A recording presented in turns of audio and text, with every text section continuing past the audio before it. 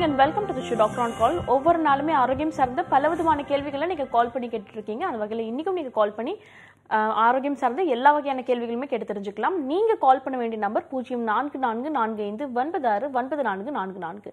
இன்றைக்கி நீங்கள் கேட்கக்கூடிய அனைத்து ஆரோக்கியம் சார்ந்த கேள்விகளுக்கும் பதில் அளிக்கிறதுக்காக ஆர்ஜிஆர் ஹாஸ்பிட்டல் டாக்டர் கவிதா வந்திருக்காங்க. வணக்கம் மேம் வணக்கம். பொதுவாக மழைக்காலம் ஆரம்பிச்சிடுச்சு அப்படின்னு சொல்லும்போது சளி தொந்தரவு கொஞ்சம் அதிகப்படியாக இருக்கும். இது தொடர்ச்சியாக வந்துட்டு பல பேருக்கு பார்த்தீங்கன்னா ஆஸ்மா தொந்தரவும் இருக்கும். காலையில் எழுந்த உடனே வீசிங் ப்ராப்ளம் இருக்குது நான் தொடர்ச்சியாக பஃப் யூஸ் பண்ணிக்கிட்டே இருக்கேன். இதை தவிர்த்து நான் வேறு எதுவுமே யூஸ் பண்ண முடியாமல் இருக்குது அப்படின்னு சொல்கிறவங்க இருக்காங்க. இது ஒரு அடிக்ஷன் மாதிரி ஆயிடுச்சு பஃப் யூஸ் பண்ணுறது இதற்கான காரணம் என்ன? இதை அவாய்ட் பண்ணிவிட்டு ஒரு கம்ப்ளீட் கியூர் கிடைக்குமா அவங்களுக்கு கண்டிப்பாக வந்து ஒரு கோர்ஸ் ஆஃப் ட்ரீட்மெண்ட் நம்ம மூலிகை மருந்துகள் ஒரு கோர்ஸ் ஆஃப் ட்ரீட்மெண்ட் எடுக்கும்பொழுது கண்டிப்பாக இந்த ஆஸ்மாவை முழுமையாக குணப்படுத்த முடியும். ஃபஸ்ட்டு இது ஏன் வந்து திரும்ப திரும்ப வருது? இப்போ பர்டிகுலராக ஒரு சீசன் மாறும்போது நமக்கு இந்த சளி தொந்தரவுகள் ஏற்படுது. ஏன் வந்து லைஃப் லாங் இருக்குது அப்படின்னா மெயினாக அது மூல காரணம் என்ன அப்படிங்கிறத நம்ம அதை கணிச்சு அது அதுக்கு முழுமையாக ட்ரீட்மெண்ட்ஸ் எடுக்கிறது இல்லை ஸோ இப்போ விட கஷ்டமாக இருக்குது இல்லை சளி இருமல் வந்துக்கிட்டே இருக்குது அப்படின்னா அது இம்மீடியட்டாக அதுலேருந்து நம்ம ரிலீஃப் ஆகணுன்றதுக்காக ஒரு டெம்பரவரியான ஒரு ட்ரீட்மெண்ட்ஸ் எடுக்கிறோம். ஸோ நுரையீரலுக்குள்ள நமக்கு அந்த சுவாச குழாய்களில் சளிகள் போய் அடைச்சிருக்கும். இப்போ ஸ்டார்டிங்கில் எடுத்த உடனே போய் வந்து பிளாக் ஏற்படாது. ஃபஸ்ட்டு இனிஷியலாக எப்படி இருக்கும் அப்படின்னா upper respiratory tag track infection அப்படின்னு சொல்லுவோம். ஸோ பேசிக்காக வந்துட்டு அந்த நுரையீரலோட மேல் பகுதியில் தான் வந்து ஃபஸ்ட்டு இன்ஃபெக்ஷன் வந்து ஸ்டார்ட் ஆகும். ஸோ அந்த டைமில் வந்து நமக்கு ரன்னிங் நோஸ் இருக்கும் த்ரோட் பெயின் இருக்கும் அதுக்கப்புறம் ப்ரீத்திங் டிஃபிகல்ட்டி இருக்கும். சளி வந்துட்டு இனிஷியலாக பார்த்தீங்கன்னா ஒயிட் கலரில் வந்து வெளியேறும். இன்ஃபெக்ஷன் ரொம்ப அதிகமாக இருந்தது அப்படின்னு சொன்னால் பச்சை நிறத்தில் இல்லைனா மஞ்சள் நிறத்தில் வந்து வெளியேறும். ஸோ இது எல்லாமே வந்து பார்த்திங்கன்னா நமக்கு ஸ்டார்டிங் ஸ்டேஜில் இந்த மாதிரி சிம்டம்ஸ் இருக்கும். ஸோ அதுக்குரிய ட்ரீட்மெண்ட்ஸ் நம்ம ஒரு க்ரோஸ் ஆஃப் ட்ரீட்மெண்ட்ஸ் அப்படின்னு சொல்கிறோன்னா உடலில் வந்து எந்த அளவுக்கு நோய் வந்து பாதிப்பு ஏற்பட்டிருக்கு அப்படிங்கிறது ஏற்ற மாதிரி நம்ம கால அளவு நம்ம மருந்துகள் எடுத்துக்கணும். இப்போ இன்ஃபெக்ஷன் ரொம்ப அதிகமாக இருக்குது அப்படின்னு சொன்னால் கண்டிப்பாக ஒரு எயிட் மந்த்ஸ் ட்ரீட்மெண்ட் எடுக்கிறது ரொம்ப ரொம்ப முக்கியம். இப்போ நுரையீரல் அப்படின்னு சொல்லிட்டு எடுத்துக்கிட்டோம் அப்படின்னா அதில் இருக்கக்கூடிய கழிவுகள் அனைத்துமே ஒன்று வந்து நம்ம இருமல் வழியாவோ இல்லை வாந்தி வழியாவோ இது மாதிரி தான் நம்ம எடுக்க முடியும். இப்போது அது வந்து அப்படியே ஒரு ஃபோர்ஸாக நம்ம ஒரே டைமில் வந்து எக்ஸ்க்ரீட் பண்ண முடியாது. கொஞ்சம் கொஞ்சமாக தான் வந்து அது வெளியேற்றப்படுற மாதிரியான ஒரு அமைப்பில் அமைஞ்சிருக்கு. இப்போ வயிற்றுப்பகுதியில் வந்து வயிறு வந்து பிரச்சனையாக இருக்குது இல்லை ஃபுட் பாய்சன் ஆயிடுச்சு வயிறு சரியில்லை அப்படின்னு சொன்னால் நமக்கு அட் அ டைம் ஒரே நாளில் கூட வயிறு வந்து ஃபுல்லாக பேதி மூலிமா கிளென்ஸ் பண்ணிடும். ஒரு நாளைக்கு ஒரு டென் டு ஃபிஃப்டீன் டைம்ஸ் கூட மோஷன் போய் வயிறு வந்து நம்ம பாடியே ரெக்கவரி ஆகிடும் ஆனால் நுரையீரல் வந்து பார்த்திங்கன்னா அந்த அளவுக்கு நம்மளால் வந்துட்டு ஒரே டைமில் அட் அ டைம் கிளென்ஸ் பண்ண முடியாது. ஸோ கொஞ்சம் கொஞ்சமாக டே டு டே லைஃப்பில் வந்துட்டு கொஞ்சம் கொஞ்சமாக இருமல் மூலயமா வந்துக்கிட்டே இருக்கும். ஸோ அப்போ இருமல் அப்படிங்கிறது நம்மளோட உடலில் வந்துட்டு ஒரு ரிஃப்ளெக்ஸ் ரிஃப்ளெக்ஸ் நம்ம என்ன சொல்கிறோம் அப்படின்னா இப்போது நம்ம உடலில் வந்து ஒரு தும்மல் ஏற்படுது இப்போ நம்ம சுவாசம் ஏற்ப ஏற் இருக்குது இருமல் இருக்குது இது எல்லாமே வந்து என்ன அறிகுறியாக இருக்குது ரிஃப்ளெக்ஸுங்கிறது என்ன அப்படின்னா நம்ம உடலில் இருக்கக்கூடிய ஒரு சில ஒத்துக்காத ஒரு அலர்ஜிக்கோ இல்லை வைரஸோ கிருமியோ எது இருந்தாலுமே நம்ம உடல் வந்து தானாக வெளியேற்றும். இப்போ நம்ம ஃபோர்ஸாக வந்து தும்புறோம் அப்படின்னு சொன்னால் பல லட்சக்கணக்கான கிருமிகள் வந்து அந்த தும்மல் வழியாக வெளியேறும். ஸோ இது வந்து ஒரு வகையான ஒரு ரிஃப்ளெக்ஸ் அதே மாதிரி இருமலும் அதே மாதிரி தான் இப்போ இருமல் ஏன் நம்ம உடம்பு வந்து ஏற்படுது அப்படின்னு சொன்னால் இருமல் மூலயமா தான் நுரையில் இருக்கக்கூடிய கழிவுகள் அனைத்தும் வெளியேறும். ஸோ அந்த இரும்பு நம்ம நல்லாவே ஃபீல் பண்ணியிருப்போம் இரும்பும் போது நமக்கு வந்து தொண்டை பகுதியில் சளி மேலே வர மாதிரி இருக்கும். ஸோ அதை நம்ம அதை ஒழுங்காக வந்து வெளியில் எடுக்கிறது இல்லை என்ன பண்ணுறோன்னா பாதி பேர் வந்துட்டு உள்ளே வந்து விழுங்கிடுவாங்க. அப்படி இல்லை அப்படின்னு சொன்னால் அந்த இருமலும் நம்ம ப்ராப்பராக வந்து இரும்பி வெளியே சளி எடுக்காமல் அந்த பிரச்சனை அந்த கோழையை வந்து நம்ம லங்ஸ்குள்ளேயே வந்து திரும்ப ரிவர்ஸாக அனுப்புகிறோம் ஸோ அப்போ திரும்ப பாடி என்ன பண்ணோம் அப்படின்னா திரும்ப இருமல் வந்து உண்டு பண்ணும். ஸோ உள்ளே இருக்கக்கூடிய நுரையீரல் வந்து எப்பவுமே வந்து காற்றுகள் மட்டும்தான் இருக்கணும். ஸோ அதுக்குள்ளே வந்துட்டு கோழையோ இல்லை நீர்கள் எது இருந்தாலும் சரி நம்ம உடலை வந்துட்டு தானாகவே இருமல் மூலிமா வெளியேற்றும் ஸோ இந்த மாதிரி நம்ம சிம்டம்ஸ் இருக்கும்பொழுது நம்ம என்ன பண்ணுறோன்னா இருமல் இருந்துக்கிட்டே இருக்குது இருமல் வந்து ஒரு தவறான ஒரு விஷயம் அப்படின்னு நம்ம என்ன பண்ணுறோம் அப்படின்னா ஒரு காஃப் சிரப் எடுக்கிறோம். ஸோ ஒரு காஃப் சிரப் எடுக்கும்போது என்ன ஆகும் அப்படின்னா கண்டிப்பாக வந்து அதை அப்படியே சப்ரஸ் பண்ணும். ஸோ உள்ளே இருக்கக்கூடிய அந்த கோழைகள் அனைத்தும் அப்படியே நுரையீரலுக்குள்ளேயே தங்க ஆரம்பிச்சிடும் ஸோ இந்த மாதிரி நம்ம தொடர்ந்து ட்ரீட்மெண்ட்ஸ் எடுத்துக்கிட்டே இருக்கோம். இப்போ நிறைய பேர் வந்து பார்த்தீங்கன்னா காஃப் சிரப்பே வீட்டில் பார்த்தீங்கன்னா ஒரு பத்துலேருந்து பதினஞ்சு பாட்டில் இத்தனை மருந்துகள் நான் எடுத்தேன் எனக்கு சரியாகலை அப்படின்னு சொல்லுவாங்க. ஸோ அந்த மாதிரி காஃப் சிரப் உள்ளே குடிச்சிக்கிட்டே இருப்பாங்க. அந்த காஃப் வந்து சப்ரஸ் பண்ண பண்ண என்ன ஆகும் அப்படின்னா நுரையீரலுக்குள்ளேயே அந்த கோழை தங்க ஆரம்பிச்சிடும் ஸோ அது உள்ளே வந்து செடிமெண்ட் ஆகி ஆகி ஆகி என்ன ஆகும் அப்படின்னா ஃபியூ லாஸ்ட் ஸ்டேஜில் பார்த்தீங்கன்னா நுரையீரலோட லாஸ்ட் பகுதி வரைக்கும் போய் அப்படியே தங்கிடும் ஒரு ஃபோர் டு ஃபைவ் லேயர் மாதிரி அப்படியே தங்க ஆரம்பிச்சிடும் அப்போ என்ன ஆகும்னா ஆக்சிஜன் சப்ளை வந்து ப்ராப்பராக உடம்புக்கு வந்து பத்தாததுனால திரும்ப சுவாசம் வந்து பாடி வந்து அதிகமாக எடுக்க ஆரம்பிக்கும். ஸோ நம்மளோட உடலே வந்து எந்த அளவுக்கு மேக்ஸிமம் ரெக்டிஃபை பண்ண முடியுமோ அந்த ரியாக்ஷன்ஸ் எல்லாமே பண்ணிக்கிட்டே இருக்கும்.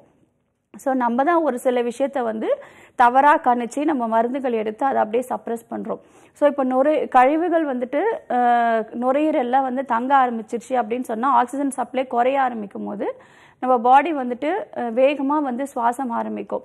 அப்போ மூச்சுத்திணறல் அதிகமாக இருக்குது அப்படின்னு சொல்லிட்டு நார்மலான மூச்சுத்திணறல் வரத்துக்கு அதுக்கு தனியாக ஒரு மாத்திரைகள் எடுப்போம். ஸோ இந்த மாதிரி நம்ம பண்ணக்கூடிய தவறுகள்னால இந்த சளி பிரச்சனைகள் தொடர்ந்து இருந்துக்கிட்டே இருக்குது ஸோ இப்போ ஒரு ட்ரீட் ஒரு ட்ரீட்மெண்ட் எடுக்கிறீங்க அப்படின்னா ஒரு ஃபிஃப்டீன் டேஸில் உங்களுக்கு நல்ல ரிசல்ட் இருக்க மாதிரி இருக்கும்.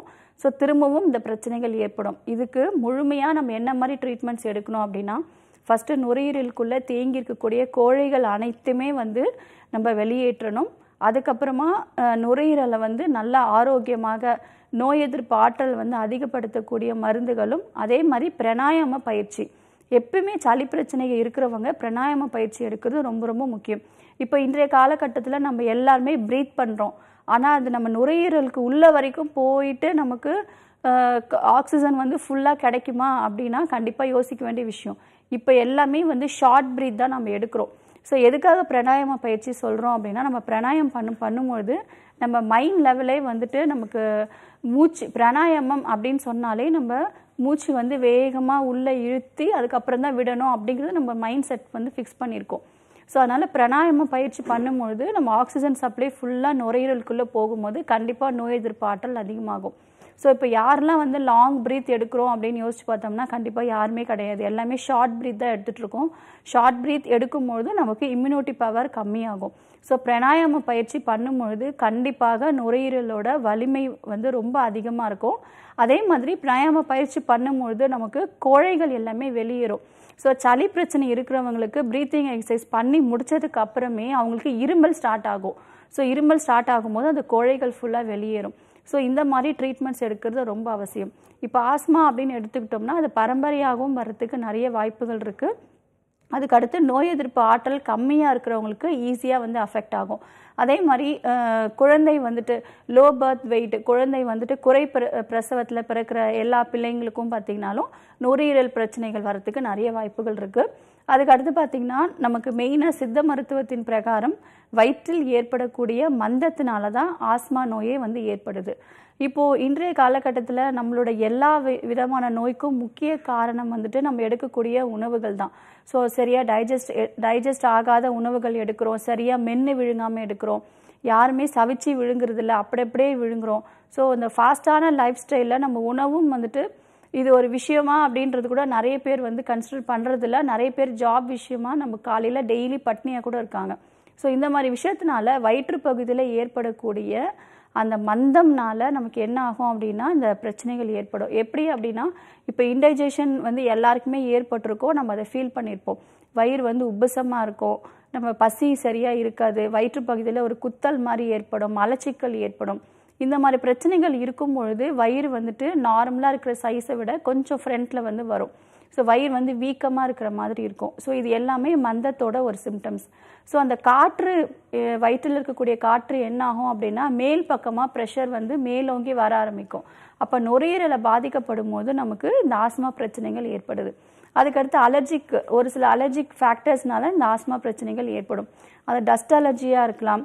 இல்லை வீட்டில் இருக்கக்கூடிய கார்டன் நிறைய பேர் வந்து கார்டன் வளர்க்குறதுனால அந்த போலன் கிரெயின்ஸ் அப்படின்னு சொல்லுவோம். அந்த பூக்கள் இருக்கக்கூடிய மகரந்தத்தினால் சுவாசிக்கும் பொழுதும் நமக்கு இந்த பிரச்சனைகள் ஏற்படும். அதுக்கப்புறம் பெட் அனிமல்ஸ் ஸோ வீட்டில் வந்து நிறைய பேர் வந்து பெட் அனிமல்ஸ் வந்து வளர்ப்பாங்க. ஸோ அதுக்கு ப்ராப்பரான வேக்சின் போடுறது ரொம்ப அவசியம். ஸோ நிறைய பேர் வந்து பார்த்திங்கன்னா ப்ராப்பரான வேக்சின் போடுறதில்ல.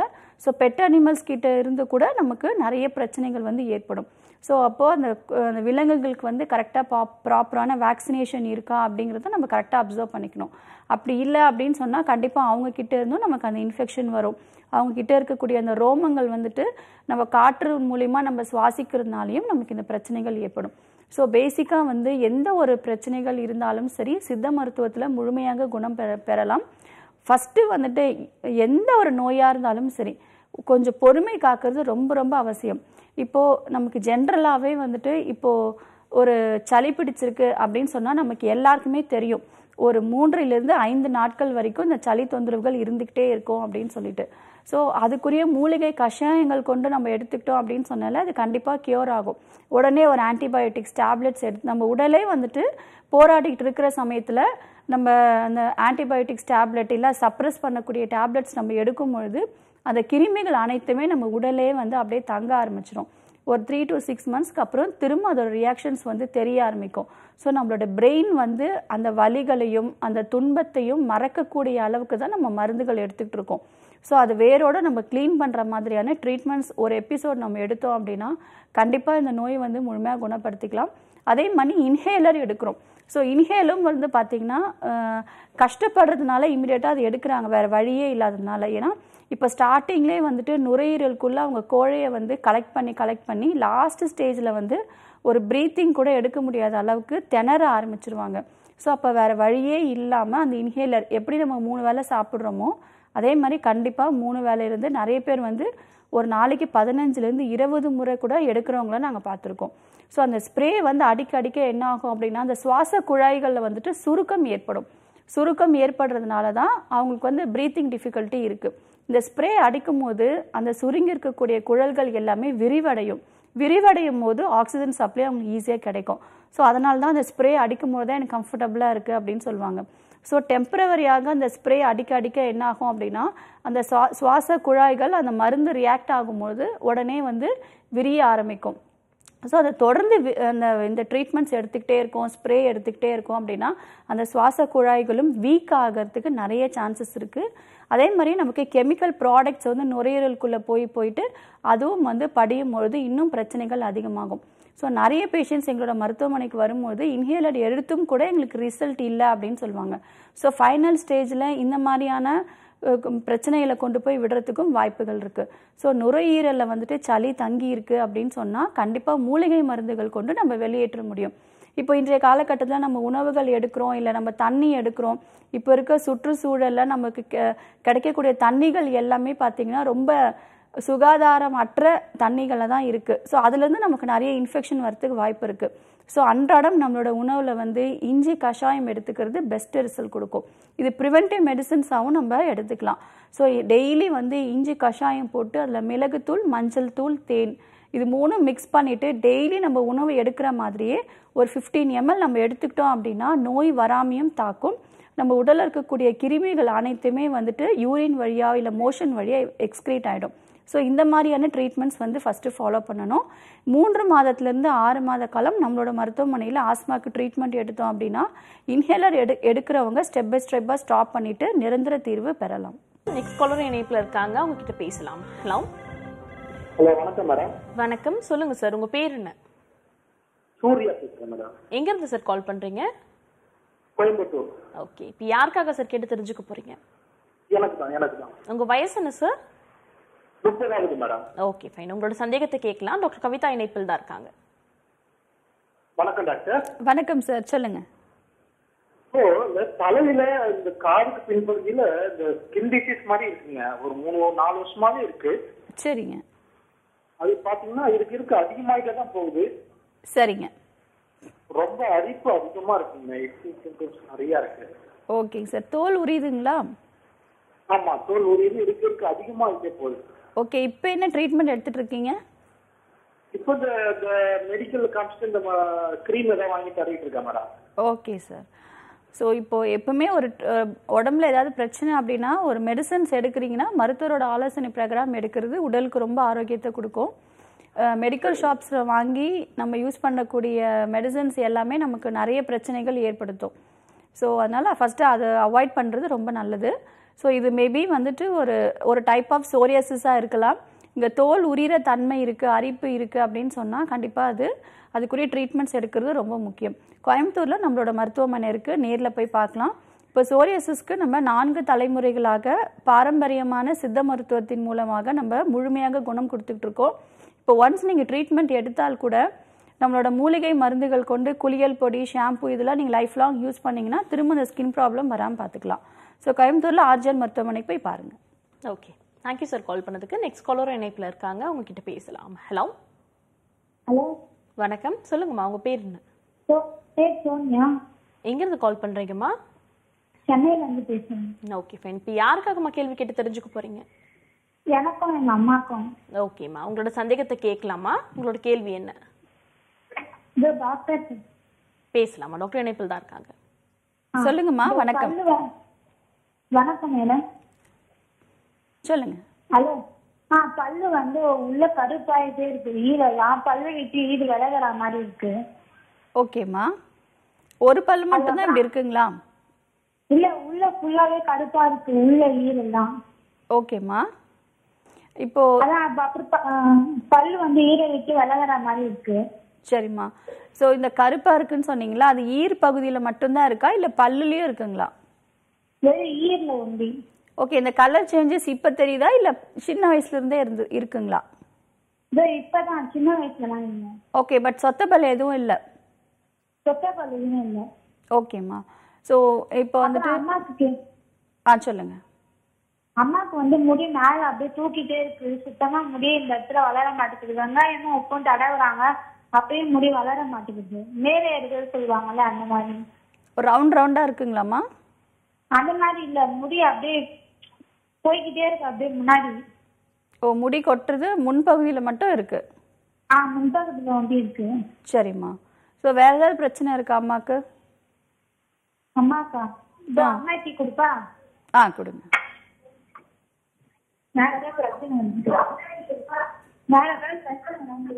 ஹலோ. அம்மா உங்களுக்கு வேற ஏதாவது பிரச்சனை இருக்கா? சுகர் இல்ல மேடம் வேற எதுவும் பிரச்சனை இல்லை மேடம் எனக்கு. ஓகே பீரியட்ஸ் ரெகுலரா இருக்குங்களா? ஆ அதெல்லாம் ரெகுலரா இருக்கு மேடம் ஓகே முடி கொட்டுறது எப்படி இருக்கு உங்களுக்கு? முடி கொட்டினா சைடுல வந்து மேடம் மேல இருக்குன்னு சொல்லுவாங்க. ஒரு சைடுல மட்டும் கொஞ்சம் போல லைட்டா ஏறு அந்த இடம் மட்டும் முடி வளரல சரிம்மா ஓகே ஸோ இப்போ பேசிக்கா எண்ணெய் இது தூக்கி வாடுறப்போ மட்டும் அசிங்கமா தெரியுது. மத்த நேரம் தெரியாது. ஓகேம்மா ஸோ ஒரு ஸ்கேன் பரிசோதனை செய்து நீர்க்கட்டி இருக்கா அப்படிங்கிறத நம்ம பார்க்கணும். ஸோ இப்போது நீர்க்கட்டிகள் ஏன் பார்க்குறோம் அப்படின்னு கே சொல்கிறோம் அப்படின்னா ஃபஸ்ட்டு நம்மள பெண்களுக்குரிய ஹார்மோன்ஸ் வந்து குறையும் பொழுது இந்த பிரச்சனைகள் ஏற்படும். ஸோ நமக்கு பிசிஓடி இருந்தது அப்படின்னு சொன்னால் இந்த பிரச்சனை இருக்கும். ஸோ ஒரு பேசிக் ஸ்கேன் பண்ணி பார்க்குறது ரொம்ப அவசியம். நீங்கள் ரிப்போர்ட்ஸ் கூட நீங்கள் வாட்ஸ்அப்பில் அனுப்பலாம். இப்போதைக்கு நீங்கள் வந்துட்டு நிறைய வந்துட்டு இரும்பு சத்துள்ள உணவுகள் எடுத்துக்கிறது மூலயமா உங்களுக்கு இந்த பிரச்சனைகள் குறையறதுக்கு நிறைய வாய்ப்புகள் இருக்குது பேசிக்காக வந்து நம்ம ஹார்மோன்ஸை கரெக்ட் பண்ணோம் அப்படின்னா தான் இந்த பிரச்சனை வந்து முழுமையாக வந்து குணப்பெறும் ஸோ உங்களோட மகளுக்கு வந்துட்டு திரிபலா சூரணம் வந்துட்டு அஹ், பல்பொடியாக வந்து உபயோகப்படுத்த சொல்லுங்கள் நாட்டு மருந்து கடையில் கிடைக்கும். கடுக்காய் நெல்லிக்காய் தாண்டிக்காய். இந்த மூன்று மூலிகையும் நல்லா பொடி பண்ணிட்டு நம்ம நல்லா ஈர்களில் படுற அளவுக்கு நல்லா கொஞ்சம் ப்ரெஷர் கொடுத்து தேய்க்கும் பொழுது இந்த பிரச்சனைகள் நல்லா குறைய ஆரம்பிக்கும். இப்போ அந்த இடத்துல ஏதாவது சொத்தைப்பல் சொத்தைப்பல் இருக்கா? இல்லை ஈர்களில் வந்து வேற என்ன பிரச்சனை இருக்குது ப்ளீடிங் ஆகுதா? இதெல்லாம் கொஞ்சம் பார்க்க வேண்டியது இருக்குது ஸோ சென்னையில் நம்மளோட டி நகர் ஹபீபுல்லா ரோட்டில் இருக்க ஆர்ஜிஎன் மருத்துவமனை நேரில் வந்து பார்க்கலாம். ஓகேம்மா தேங்க்யூம்மா கால் பண்ணதுக்கு. நெக்ஸ்ட் காலரும் இணைப்பில் இருக்காங்க. அவங்க கிட்ட பேசலாம் ஹலோ வணக்கம் மேடம் வணக்கம். சொல்லுங்கம்மா உங்க பேர் என்ன? வித்யா. எங்கேருந்து கால் பண்றீங்க வித்யா? கரூர்ல இருந்து பேசுறேன் மேடம் ஓகேம்மா இப்போ யாருக்காகம்மா கேட்டு தெரிஞ்சுக்க போறீங்க? சிஸ்டருக்காக கேட்கணும் மேடம் அவங்களோட வயசு என்னம்மா? முப்பத்தி ஒன்பது ஆகுது மேடம் ம், ஓகேம்மா உங்களோட கேள்வியை கேட்கலாமா? டாக்டர் கவிதா இணைப்பில் தான் இருக்காங்க. வணக்கம் டாக்டர் வணக்கம்மா சொல்லுங்க. டாக்டர் சிஸ்டருக்கு ஆஸ்திமி ப்ராப்ளம் இருக்கு டாக்டர் ஒரு பத்து வருஷமாவே இருக்கு. சரிங்கம்மா. அவங்க ட்ரீட்மெண்ட் தான் எடுத்துட்டு இருக்காங்க. இருந்தாலும் அவங்களுக்கு வந்து மூக்கடைப்பு அதிகமா இருக்கு. சரி. பஃபும் யூஸ் பண்ணிட்டு இருக்காங்க. ஒரு ஒரு நாளைக்கு நாலஞ்சு மேலே யூஸ் பண்ணிட்டு இருக்காங்க. ஓகேம்மா இருக்க இருக்க உங்களுக்கு அதிகமாக தான் அதை தவிர அது குறையவே மாட்டேங்குது. ஓகே. ஸோ இப்போ இன்ஹேலர் எடுக்கிறவங்களுக்கு எல்லாருக்குமே தெரியும் டெம்பரவரி ரிலீஃப் தான் அப்படின்னு சொல்லிட்டு. ஸோ இப்போ மார்னிங் ஒரு ஒரு எபிசோட் யூஸ் பண்ணுறாங்க அப்படின்னு சொன்னால் ஒரு த்ரீ ஹவர்ஸ் வந்து அவங்களுக்கு கம்ஃபர்டபுளாக இருக்கும். ஸோ மறுபடியும் அவங்க ரிப்பீட்டடாக யூஸ் பண்ணுற மாதிரியே இருக்கும். ஒரு ஸ்டேஜுக்கு அப்புறம் இன்ஹேலர் வந்து சுத்தமாக அவங்களுக்கு ரெசிஸ்டன்ட் பவர் அதிகமாகிடும் பாடியில் அதுக்கப்புறம் அவங்களுக்கு சுத்தமாக கேட்கவே கேட்காது. ஸோ நம்மளோட ஆர்ஜிஆர் மருத்துவமனையில் ஆஸ்மாக்கு முழுமையாக நிரந்தர தீர்வு கொடுத்துக்கிட்டு இருக்கோம். கவலைப்பட வேண்டாம். இப்போதைக்கு வந்து தும்பை இலை கஷாயம் மட்டும் கொடுங்க. ஸோ தும்பை இலை வந்து உங்களுக்கு ஈஸியாக கிடைக்கும். அந்த பூவும் நீங்கள் ஆட் பண்ணிக்கலாம். ஸோ ரெண்டுமே போட்டு நல்லா கஷாயம் மாதிரி போட்டு கண்டிப்பாக வந்து மஞ்சள் தூள் மிளகுத்தூள் ஒரு ஒரு சிட்டிகை போடுறது ரொம்ப முக்கியம். அவங்களுக்கு வந்து ஒரு ஸ்பூன் தேன் மலை தேன் இருந்துச்சுன்னா ரொம்ப எக்ஸலண்ட்டாக ரிசல்ட் கொடுக்கும். தேனே வந்து சளியை வந்து வெளியேற்றக்கூடிய தன்மை இருக்குது ஸோ அதனால் தும்பைப்பூ கஷாயம் கொடுக்கும்பொழுது இன்னும் நல்ல ரிசல்ட் இருக்கும். ஸோ தேன் கலந்து டெய்லி கொடுத்துக்கிட்டே வாங்க. இப்போ இந்த இன்ஹேலர் வந்து இமீடியட்டாக நம்ம ஒரு ஒன் வீக்குள்ளே ஸ்டாப் பண்ணிக்கலாம். நம்மளோட மருந்துகள் எடுக்கும் பொழுது ஒன் வீக்லேயே உங்களுக்கு நல்ல ரிசல்ட் தெரியும். ஸோ நுரையில் இருக்கக்கூடிய கோழைகள் அனைத்துமே உங்களுக்கு வந்துட்டு நல்ல இருமல் மூலயமா வெளியே வர ஆரம்பிக்கும். ஸோ ஒன் வீக் அப்புறம் நுரையீரல் நல்லாவே உங்களுக்கு ஃப்ரீ ஆகிடும் சுவாசம் எல்லாமே நல்லா நார்மலுக்கு வர ஆரம்பிக்கும். ஸோ ஒன் ஒன் வீக் அப்புறமா நம்மளோட மூலிகை மருந்துகள் மட்டுமே நம்ம கண்டினியூ பண்ணாலே இந்த ஆஸ்மா பிரச்சனைகள் முழுமையாக குணம் பெறலாம். இது கூட வந்து நெஞ்சு பகுதியில் இப்போது நுரையீரலுக்குள்ளே தங்கியிருக்கக்கூடிய கோழைகள் வந்துட்டு நமக்கு நெஞ்சு பகுதியில் தைலங்கள் தேய்ச்சிட்டு நம்ம தட்டுறது மூலயமா அதாவது நம்ம சித்த மருத்துவத்தில் நிறைய முறைகள் இருக்குது வறுமை சிகிச்சையில். அதில் தட்டுதல் அப்படிங்கிற ஒரு ப்ரொசீஜர் நம்ம ஃபாலோ பண்ணும்பொழுது அந்த நுரையில் இருக்கக்கூடிய சளிகள் எல்லாமே நமக்கு வெளியே வர ஆரம்பிக்கும். ஸோ ஒரு ட்ரீட்மெண்ட் எடுக்கிறது ரொம்ப ரொம்ப முக்கியம். கீழே ஸ்க்ரூலில் இருக்க நம்பருக்கு கால் பண்ணி டீட்டெயில்ஸ் கேட்டுக்கோங்க. நேரில் அழைச்சிட்டு வாங்க. கண்டிப்பாக நம்ம இன்ஹேலர் ஸ்டாப் பண்ணிவிட்டு மூலிகை மருந்துகளை முழுமையாக குணம் பெற முடியும். வாழ்நாள் முழுதும் மருந்துகள் எடுக்கணுங்கிற அவசியம் கிடையாது. இப்போதைக்கு நீர் காய்கறிகள் மட்டும் அவங்களுக்கு கொடுக்க வேண்டாம். தண்ணி எப்போ குடித்தாலும் வெது வெதுப்பான சுடுதண்ணி மட்டும் எடுத்துக்கிறது ரொம்ப நல்லது. ஓகே நன்றிம்மா கால் பண்ணதுக்கு. அடுத்த அழைப்பாளர் இணைப்பில் இருக்காங்க. ஹலோ ஹலோ வணக்கம். சொல்லுங்க உங்க பேர் என்ன?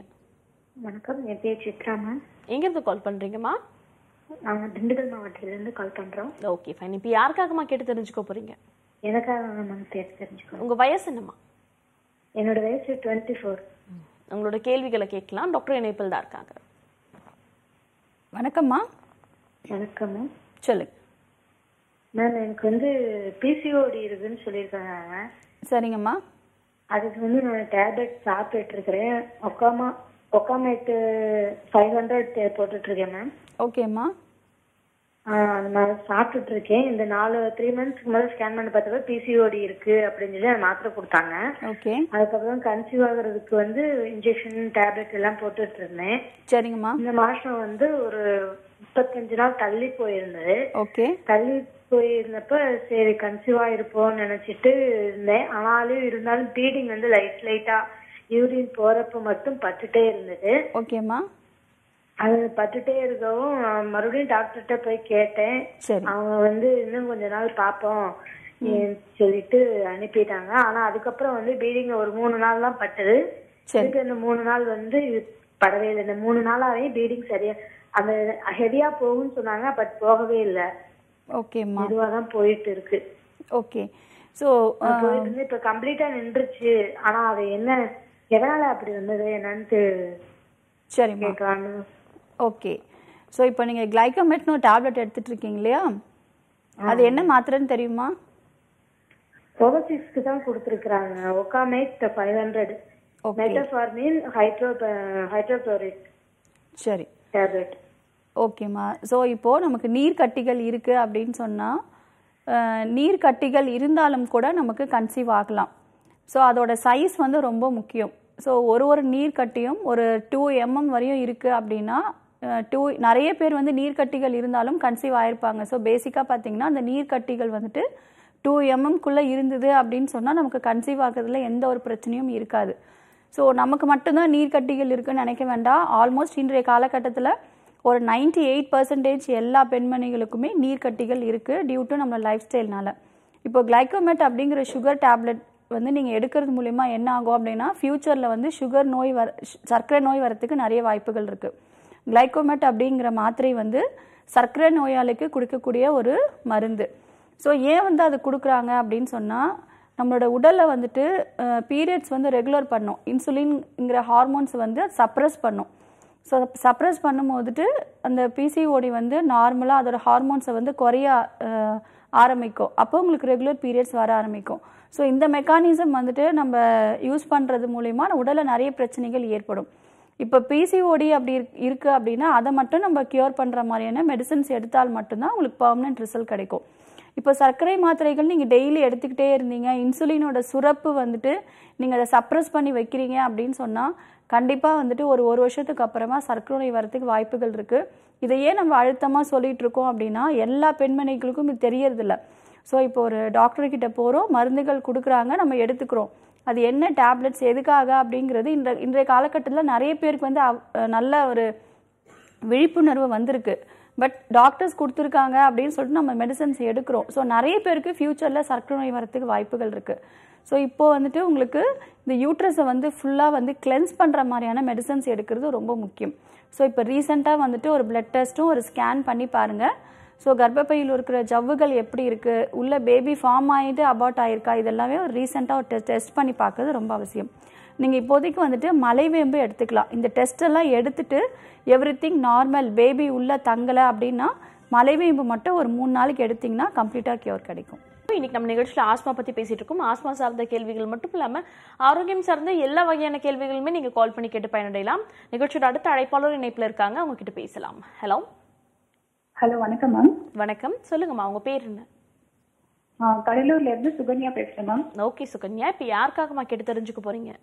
எங்க அப்பாக்காக கேட்கணும் மேம். அவரோட வயசு என்னம்மா அவங்களுக்கு வந்து வயசு ஐம்பத்தி ஆறு ஆகுது மேம். ஓகேம்மா பேசலாம். டாக்டர் இணைப்பில் தான் இருக்காங்க. ஹலோ வணக்கம் மேடம். வணக்கம்மா சொல்லுங்கள் மேடம் எங்க அப்பாவுக்கு வந்து ஒரு ஒன் வீக் முன்னாடி ரொம்ப லூஸ் மோஷன் மாதிரி நிறைய நான் ஸ்டாப்பா போயிட்டே இருந்துச்சு மேடம். சரிங்கம்மா அது வந்து அட்மிட் பண்ணிட்டாங்க. அட்மிட் பண்ணிட்டு அவங்களுக்கு வந்து கிட்னி ப்ராப்ளம் வந்து ஸ்டார்ட் ஆயிருக்க மாதிரி சொல்லியிருந்தாங்க மேம் சரிங்கம்மா இப்போ வந்து அவங்களுக்கு வந்து லூஸ் மோஷன் வந்து ஸ்டாப் ஆயிடுச்சு. ஆனா வந்து அவங்களுக்கு வந்து விக்கல் வந்து நான் ஸ்டாப்பா வந்துட்டே இருக்கு மேடம் அது வந்து நிக்கவே மாட்டேங்குது. வயிறு வந்து ஒரு மாதிரி ஒரு மாதிரி உப்பசமா இருக்கு. கேஸ்ட்ரிட்டிஸ் பிரச்சனை மாதிரி இருக்கு. விக்கலும் அந்த ஏப்பமும் சேர்ந்து வருது அவங்களுக்கு மேடம் ஓகேம்மா ஸ்கேன் ஸ்கேன் பண்ணி பார்த்தாங்களா? ஸ்கேன்லாம் நார்மலா தான் இருக்கு சொல்லியிருக்காங்க மேடம் இல்லைம்மா கண்டிப்பாக வந்துட்டு ஸ்கேனில் சம் நமக்கு அந்த லிவர் மேலே இருக்கக்கூடிய அந்த டயஃப்ரம் அப்படின்னு ஒரு ஒரு விஷயம் இருக்குது ஸோ அது டென்ஷன் ஆகும்போது தான் நமக்கு இந்த பிரச்சனைகள் ஏற்படும். ஸோ இப்போ இதுக்கு முன்னாடி இந்த பிரச்சனை அப்பாவுக்கு வந்திருக்கா? இல்லை இப்போ தான் வந்திருக்கா?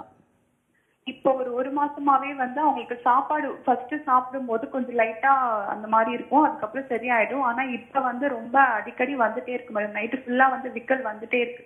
சரி ஓகே ஸோ இப்போ கிட்னியில் வந்து என்ன ப்ராப்ளம் இருக்குது ஓகே அவங்க இணைப்பில் இல்லை மேம் நீங்க பதில் சொல்லலாம். ஓகே ஸோ இப்போது வந்து விக்கல் ஏற்பட்டிருக்கு அப்படின்னு சொன்னால் கண்டிப்பாக நமக்கு அந்த லிவர் பகுதியில் நமக்கு லிவருக்கும் நம்மளோட லங்ஸுக்கும் வந்து நடுவில் வந்து டயஃப்ரம் அப்படிங்கிற ஒரு ஒரு ஒரு லேயர் மாதிரி இருக்கும்.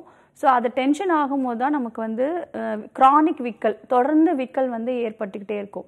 ஸோ இதுக்கு நம்மளோட சித்த மருத்துவத்தில் மூலிகை மருந்துகள் இருக்குது ஸோ தொடர்ந்து வந்து நம்ம மருந்துகள் எடுக்கும் பொழுது அட்லீஸ்ட் வந்து ஒரு சிக்ஸ் டோஸ்க்கு அப்புறம் தான் ரிசல்ட்டே வந்து தெரிய ஆரம்பிக்கும்.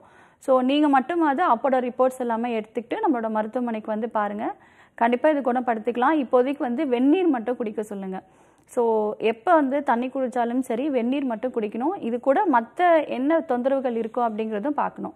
ஸோ ரிப்போர்ட்ஸ் எல்லாமே நீங்கள் எடுத்துக்கிட்டு நேரில் வந்து பார்க்கலாம். நம்ம மருந்துகள் கொடுக்கறது மூலிமா கண்டிப்பாக ஸ்டாப் ஆகிடும் கவலைப்பட வேண்டாம். ஓகேம்மா நன்றிம்மா கால் பண்ணதுக்கு. அடுத்த அழைப்பாளர் இணைப்பில் இருக்காங்க. ஹலோ? ஹலோ வணக்கம் மேடம். வணக்கம். சொல்லுங்கம்மா உங்க பேர் என்ன? கல்பனா மேடம். திருச்சியில இருந்து பேசுறேன். ஓகே. இப்போ யாருக்காகம்மா கேட்டு தெரிஞ்சுக்க போறீங்க? அப்பாவுக்காக மேடம் கேட்கணும். அப்பாவோட வயசு என்னம்மா? ஐம்பத்தி எட்டு ஆகுது மேடம். ஓகேம்மா உங்களோட சந்தேகத்தை கேட்கலாம். டாக்டர் கவிதா இணைப்பில் தான் இருக்காங்க. ஹலோ வணக்கம் டாக்டர். வணக்கம்மா சொல்லுங்கள் ஆஹ் டாக்டர் அப்பாவுக்கு வந்து ஒரு அஞ்சு வருஷமாவே பாத்தீங்கன்னா இடுப்புல இருந்து கால் வரைக்கும் வலி அதிகமா இருக்கு. சரிம்மா. இதனால வந்து உடம்பு ஃபுல்லா பெயின் இருக்கு மேடம் முட்டிக்கு முட்டி வலி அதிகமா இருக்கு அது மாதிரி சொல்றாங்க. ஓகே. சாப்பிட்டா செரிமானம் ஆக மாட்டேங்குது மேடம் மலச்சிக்கல் ப்ராப்ளம் மாதிரி இருக்கு அப்பாவுக்கு ஓகே. வீக்காக இருக்குங்களா காலில்? ஆமா மேடம் வீக்கம் இருக்கு. ரெண்டு முட்டிலுமே வீக்கம் இருக்கு. வீக்காக இருக்குது ஓகே. ப்ரெஷர் சுகர் நார்மலாக இருக்குங்களா? சுகர் இருக்கு மேம் சுகர் வந்து ஒரு முந்நூற்றி ஐம்பது அது மாதிரி இருக்கு சாப்பிட்டதுக்கு அப்புறம். ஓகே. ஸோ இப்போ நம்ம சுகரும் வந்து கொஞ்சம் கவனிக்கணும். கண்ட்ரோலில் வச்சுக்கிறது ரொம்ப நல்லது. ஸோ சுகர் வந்து இப்போது கண்ட்ரோலில் இல்லை அப்படின்னா நரம்புகளில் வந்து பாதிப்பு ஏற்படும். அதனாலையும் வலிகள் இருக்கலாம். இப்போ ப்ராப்பராக யூரின் போகிறாரா அப்படிங்கிறது நம்ம ரொம்ப கவனிக்க வேண்டிய விஷயம். ஸோ நம்ம யூரின் சரியாக போகல அப்படின்னு சொன்னாலும் கால்களில் வந்து வீக்கம் காணப்படும். ஸோ கால் வந்துட்டு இப்போதைக்கு தூங்கும்போது நல்லா மேலே ஒரு ரெண்டு தலகாணி வச்சுட்டு நல்லா மேலே லிஃப்ட் பண்ணி தூங்க சொல்லுங்கள் ஒரு தைலம் வந்துட்டு நீங்கள் தேங்காய் எண்ணெயில் கற்பூரம் போட்டு கால் முழுதும் அப்ளை பண்ணிவிட்டு கீழ்ப்பகுதியிலிருந்து மேல் பகுதியாக வந்துட்டு மசாஜ் கொடுங்க. ஒரு டுவெண்ட்டி மினிட்ஸ் மசாஜ் கொடுங்க. நாட்டு மருந்து கடையில் வந்து நீர்முள்ளி அப்படிங்கிற மூலிகை வந்துட்டு உங்களுக்கு எக்ஸலண்ட்டான ரிசல்ட் கொடுக்கும். வலியும் நல்லா குறைய ஆரம்பிக்கும். எப்படி வலி குறையும் அப்படின்னா உடலில் வந்துட்டு தேவையில்லாத கெட்ட நீர் வந்து கால்களில் தேங்கியிருக்கு. ஸோ அந்த நீர்கள் தானாக வடிய ஆரம்பிச்சிருச்சுனாலே உங்களுக்கு வலிகள் குறைய ஆரம்பிக்கும். ஸோ நீர்மூலி கஷாயம் fifteen to uh, twenty ML கொடுக்கலாம். டெய்லி காலையில் uh, சாப்பிட்றதுக்கு முன்னாடி நைட்டும் சாப்பிட்றதுக்கு முன்னாடி. இந்த கஷாயம் கொடுத்துக்கிட்டே வாங்க. அதுக்கப்புறம் சுகர் லெவல் வந்து த்ரீ ஃபிஃப்டிங்கிறது ரொம்ப அதிகம். இது கூட three மந்த்ஸோட sugar level HBA one C டெஸ்ட்டும் பார்க்கறது ரொம்ப முக்கியம். உங்களுக்கு வேப்பை இலை வந்து ஈஸியாக கிடைக்கும். வேப்பை கொழுந்து கிடைச்சாலும் பரவாயில்ல. வேப்பை இலைகள் uh, எடுத்துக்கோங்க. அப்படி இல்லை அப்படின்னு சொன்னால் நிலவேம்பு எடுத்துக்கோங்க. சீந்தில் பொடி நாவல் கொட்டை பொடி. இது எல்லாமே வந்து பவுடர் ஃபார்மில் கிடைக்கும். அப்படி இல்லைனாலும் நீங்கள் கஷாயம் மாதிரி போட்டு கொடுங்க. ஸோ அதை கஷாயம் மாதிரி போடும்போது சுகர் லெவல் வந்து நல்லாவே குறைய ஆரம்பிக்கும். ஒரு ஃபிஃப்டி டு எயிட்டி எம்எல் வரைக்கும் கூட நீங்கள் கொடுக்கலாம். வெறும் வயிற்றில் காலையிலையும் நைட்டும் கொடுத்துக்கிட்டே வந்தீங்கன்னா சுகர் லெவல் நல்லா குறைஞ்சிரும். So side by side sugar லெவலும் நமக்கு பார்க்கணும். காலோட அந்த வீக்கத்தையும் குறைக்கணும். குறைச்சிக்கிட்டாலே இந்த வலிகள் நல்லாவே குறைய ஆரம்பிக்கும். அதுக்கப்புறமும் மூட்டுகளில் வலி இருந்தது அப்படின்னா நம்மள மருத்துவமனைக்கு நேரில் வந்து பார்க்கலாம். ஸோ எலும்புகள் ஏதாவது தேய்மானம் இருக்கா அப்படிங்கிறத பார்த்து வர்ம சிகிச்சை மேற்கொண்டோம்னா சரியாயிடும். இந்த டிப்ஸ் மட்டும் ஃபாலோ பண்ணுங்கள் உங்களுக்கு நல்ல ரிசல்ட் இருக்கும். ஓகேம்மா நன்றிம்மா கால் பண்ணதுக்கு. அடுத்த அழைப்பாளர் இணைப்பில் இருக்காங்க. ஹலோ ஹலோ வணக்கம். நீங்க லைன்ல தாம்மா இருக்கீங்க. பேசலாமா? டாக்டர் ஆன் கால் சொல்லுங்கம்மா உங்க பேர் என்ன? ஹலோ இணைப்புல தாம்மா இருக்கீங்க? உங்க பேர் என்ன? நான் சொல்லுங்க என் பேர் கிருபா. எங்க இருந்து கூப்பிடுறீங்க? நாங்க திருவாரூர் மாவட்டம் மன்னார்ல இருந்து பேசுறோம் ஓகே இப்போ யாருக்காகம்மா கேட்டு தெரிஞ்சுக்க போறீங்க? என் ஹஸ்பண்ட் காண்டி அவரோட வயசு என்னம்மா? அவங்களுக்கு வயசு முப்பத்தஞ்சு வயசு முப்பத்தி மூணு வயசு ஆகுது ஓகேம்மா பேசலாம். டாக்டர் இணைப்பில் தான் இருக்காங்க. ஆ சரி வணக்கம்மா சொல்லுங்கள் ஹலோ? வணக்கம்மா சொல்லுங்கள் என் வீட்டுக்கார வந்து இந்த தொண்டை அருகிற பிரச்சனை இருக்கு ஒன்றரை வருஷமாவே. ஓகேம்மா. அது நாங்க எண்டோஸ்கோபி வரைக்கும் போட்டு பார்த்துட்டோம் எந்த பிரச்சனையும் இல்லைன்ட்டாங்க. சரிம்மா. வயிறு மட்டும் தான் புண்ணா இருக்குன்னு சொன்னாங்க. சரி. அது இப்ப வயிறு புண்ணும் கிளியர் ஆயிடுச்சு. ஆனா இருந்தாலும் இந்த ஒன்றரை வருஷமா அந்த பிரச்சனை இருந்துகிட்டே தான் இருக்கு. இப்ப இந்த ஒரு ரெண்டு மாசமா உடம்பு குறைஞ்சிக்கிட்டே இருக்கு. ஓகே சுகர் இருக்குங்களா? சுகர் எல்லாமே டெஸ்ட் பண்ணியாச்சு மேம் எதுவுமே இல்ல. எதுவுமே இல்லை. சளி அடிக்கடி பிடிச்சிட்டே இருக்குமா? ஓகே சளி பிடிக்குமா? ஆஹா இல்ல. ஓகே வெயிட் வந்து எத்தனை கிலோ குறைஞ்சிக்கிட்டே இருக்காங்க? இப்ப வந்து எழுபத்தி ரெண்டு கிலோ இருந்தாங்க இப்ப மூணு நாலு கிலோ குறைஞ்சிருக்காங்க. ஒன்றரை மாசமா. சரி என்ன வேலை செய்கிறாருமா அவங்க அந்த ஃபேன் மிக்சி எல்லாம் சர்வீஸ் பார்ப்பாங்க. மேம் ஓகேம்மா ஸோ இப்போது திரும்பவும் வந்துட்டு ஒரு பிளட் டெஸ்ட் எடுத்து பார்க்கறது நல்லது. ஒரு முறை எப்பயுமே நம்ம டெஸ்ட் பண்ணிட்டு நம்ம இந்த டிசீஸ் இருக்கு இல்லை இந்த டிசீஸ் இல்லை அப்படிங்கிற நம்ம டயக்னோஸ் பண்ண முடியாது. ஒரு த்ரீ டு ஃபோர் டெஸ்ட் நம்ம திருப்பி திருப்பி பார்க்குறது பார்த்துட்டு அதுக்கப்புறம் தான் நம்ம டிஃபைன் டிசைட் பண்ணோம் இந்த டெஸ்ட் இந்த வியாதி இருக்கா இல்லையாங்கிறத முடிவு பண்ணோம். ஸோ அது மாதிரி டெஸ்ட் பண்ணி பாருங்கள் வெயிட் வந்து குறைஞ்சிக்கிட்டே இருக்குது அப்படின்னா சரியாக சாப்பிடல இல்லை வேலை அதிகமாக இருக்குது அப்படின்னாலும் வெயிட் குறைய ஆரம்பிக்கும். ஸோ அப்படி இல்லை சர்க்கரை நோய் வந்துட்டு உடலே ஊறி இருக்குது நமக்கு வெறும் சாப்பிட்றதுக்கு முன்னாடி சாப்பிட்டதுக்கு அப்புறமா இருக்கிற பிளட் டெஸ்ட்லையும் நமக்கு நிறைய பேருக்கு மிஸ் ஆகிறதுக்கு வாய்ப்புகள் இருக்குது ஸோ அடிக்கடி சளி பிடிச்சாலும் இந்த உடல் வெயிட் வந்து குறைய ஆரம்பிக்கும். ஸோ இந்த மாதிரி விஷயங்கள் எல்லாமே இருக்குது ஸோ ரொட்டீனாக ஃபுல்லாக ஒரு பாடி ஹெல்த் செக்அப் பண்ணிக்கிறது ரொம்ப நல்லது. ஸோ இப்போது இவருக்கு வயிற்று பகுதியில் அல்சர் வந்து முழுமையாக குணம் பெறணும் அப்படின்னா நீங்கள் சமையலுக்கு வந்து செக்கில் ஆட்டினா நல்லெண்ணெய் யூஸ் பண்ணுங்கள் நல்லெண்ணெய் வந்து நம்ம ரெகுலராக எடுத்துக்கிட்டே இருந்தோம் அப்படின்னு சொன்னாலே அது வயிற்றில் இருக்கக்கூடிய புண்களை வந்து நல்லாவே ஆற்றி கொடுக்கும். அதே மாதிரி சமையலுக்கு நிறைய பேர் வந்து சோடா மாவு யூஸ் பண்ணுவாங்க. அதேமாதிரி வெளியில் இருக்கக்கூடிய ப்ராடக்ட்ஸ் எல்லாமே நம்ம பேக்கெட்டில் இருக்கக்கூடிய எல்லா ஐட்டம்ஸும் நம்ம உபயோகப்படுத்தும் பொழுது நமக்கு கண்டிப்பாக அல்சர் பிரச்சனைகள் ஏற்படும். ஸோ அதனால் வீட்டில் சமைச்ச உணவு வந்து கொடுங்க. எளிதில் ஜீரணமாகக்கூடிய உணவுகள் குறிப்பாக ஆவியில் வேக வச்ச மாதிரி இட்லி இடியாப்பம் இந்த மாதிரியான உணவுகள் வந்துட்டு அவருக்கு கொடுத்தீங்கன்னா இன்னும் அவருக்கு செரிமானம் வந்து நார்மலாக நடக்க ஆரம்பிக்கும். இப்போது வயிற்றில் இருக்கக்கூடிய அந்த புண்கள் வந்துட்டு ஆறத்துக்கு நம்ம கொஞ்சம் டைம் கொடுக்கணும். அதுக்கு ஏற்கனவே வந்துட்டு அது ஒரு சில காரணத்தினால தான் வந்து அரிப்பு ஏற்பட்டு அந்த இடத்துல வந்து புண்கள் இருக்குது ஸோ அதுக்கு மேலே வந்து நம்ம காரமாக மசாலா ஐட்டம்ஸு இல்லை எளிதில் செரிமானம் ஆகாத உணவுகள் குறிப்பாக வந்து அசைவ உணவுகள் இதெல்லாம் எடுக்கும் பொழுது திரும்ப புண்கள் வந்து அரிப்பு ஏற்பட்டு இன்னும் வந்து பெரிய சைஸ் வந்து அல்சர் வந்து ஃபார்ம் ஆகிறதுக்கு நிறைய வாய்ப்புகள் இருக்குது ஸோ தேங்காய் பால் வந்துட்டு ஒரு நாள் விட்டு ஒரு நாள் கொடுங்க. அதே மாதிரி மணத்தக்காளி கீரை. ஸோ அந்த மணத்தக்காளியோட இலைகள் வந்துட்டு டெய்லியும் காலையில் ஒரு ஐந்துலேருந்து ஆறு இலைகள் நல்லா மென்று அந்த ஜூஸை வந்து உள்ளே விழுங்க சொல்லுங்கள் அதே மாதிரி சமையலையும் நீங்கள் மணத்தக்காளி கீரை கொடுத்துக்கிட்டே இருக்கலாம். ஸோ தொண்டையிலிருந்து ஆசனவாய் வரைக்கும் எந்த விதமான புண்கள் இருந்தாலும் சரி இந்த கீரை வந்து நல்லாவே ஆற்றி கொடுக்கும். ஸோ வாரத்தில் வந்து மூன்று நாட்கள் மணத்தக்காளி கீரை கொடுக்கறது நல்லது. சீரக கஷாயம் கொடுத்துக்கிட்டே இருங்க. உடலோட உஷ்ணத்தை வந்து குறைச்சிட்டோம் அப்படின்னு சொன்னாலே இந்த அல்சர் நல்லாவே குணமாகும். ஸோ வாரத்தில் ஒரு நாள் எண்ணெய் தேய்ச்சி தலை குளிக்கிறது ரொம்ப அவசியம்.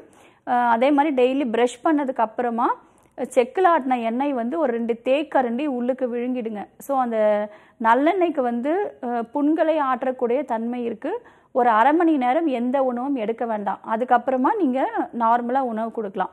டீ காஃபி எடுத்துக்கிறது கம்ப்ளீட்டாக அவாய்ட் பண்ணணும். குறிப்பாக ஜங்க் ஃபுட்ஸு மசாலா ஐட்டம்ஸ் இதெல்லாம் எடுக்கிறது ரொம்ப தவிர்க்கணும். அல்சர் இருக்கிறவங்க சூடாக வந்து எந்த உணவும் எடுக்கக்கூடாது. கொஞ்சம் நார்மல் டெம்பரேச்சர் வந்ததுக்கு அப்புறம் தான் எடுக்கணும். சூடாக சாப்பிட சாப்பிட புண்கள் வந்து ஆற ஆரம்பிக்காது. ஸோ இந்த மாதிரி விஷயங்கள் எல்லாமே ஃபாலோ பண்ணுங்கள் நம்மளோட மருத்துவமனையில் அல்சருக்கு ஒரே மாசத்துல நம்ம ட்ரீட்மெண்ட்ஸ் கொடுத்துட்ருக்கோம். கம்ப்ளீட்டாக குணம் பெறலாம் கவலைப்பட வேண்டாம். ஓகேம்மா நன்றிம்மா கால் பண்ணதுக்கு. அடுத்த அழைப்பாளர் இணைப்புல இருக்காங்க. ஹலோ வணக்கம் மேடம். எங்கிருந்து sir call Thiruvanmiyur Chennai. Okay இப்போ யாருக்காக சார் கேட்டு தெரிஞ்சுக்க போறீங்க? எனக்கு எனக்காக தான் உங்க வயசு என்ன sir forty nine okay fine பேசலாம். டாக்டர் இணைப்பில் தான் இருக்காங்க. Good morning madam good morning sir சொல்லுங்கள் எனக்கு பித்தப்பையில கல் இருக்கு மேடம் சரிங்க அது வந்து பாத்தீங்கன்னா போரமும் பையமும் இருந்தது லாஸ்ட் இயர்லாம் இப்ப செக் பண்ணி போகும்போது பிப்டீன் பாயிண்ட் ஃபைவ் இருக்கு. ஓகே என்ன ட்ரீட்மெண்ட் எடுத்தீங்க. அவங்க